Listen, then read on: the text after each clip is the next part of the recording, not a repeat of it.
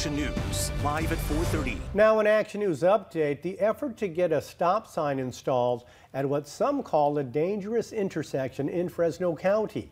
Fowler and Perrin, just north of Clovis, has been the location of two deadly crashes over the past month and a half.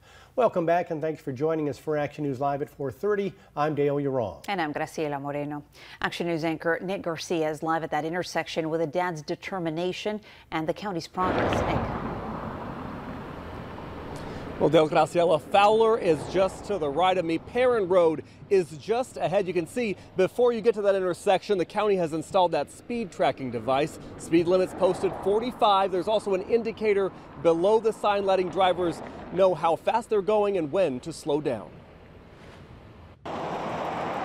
It's been just over a month since William Lazo lost his son Sandro who was hit and killed by a pickup truck while riding his bike on Perrin Road at Fowler Avenue in Fresno County. Yesterday, I picked up my son's ashes, and I assure you, that is a task and a feeling none of you want to be familiar with.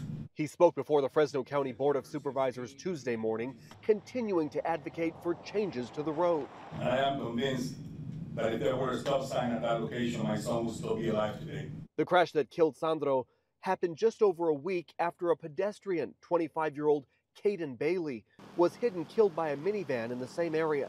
Our heart breaks for the just the tragic loss that's happened, but I can tell you that uh, the county is working very closely with the city of Clovis to make sure that that whole area is as safe as possible.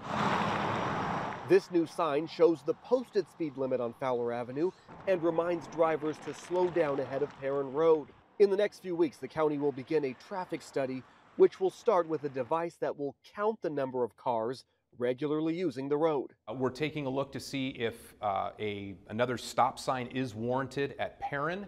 And again, without the analysis of uh, traffic counts, we're not going to be able to know um, if, if those warrants are going to be met. In the meantime, Lazo says he'll be keeping a close eye on the progress, working to ensure the tragedy he's experienced doesn't happen to another family. Stop for Sandro. Stop for Sandro. Stop for Sandro.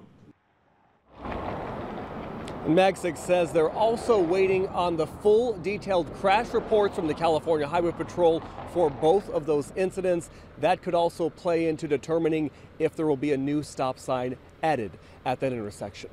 Live in Fresno County, I'm Nick Garcia, ABC 30 Action News. Hey Central California, stay up to date with all the latest news and weather. Don't forget to hit that like button and subscribe to ABC 30 Action News.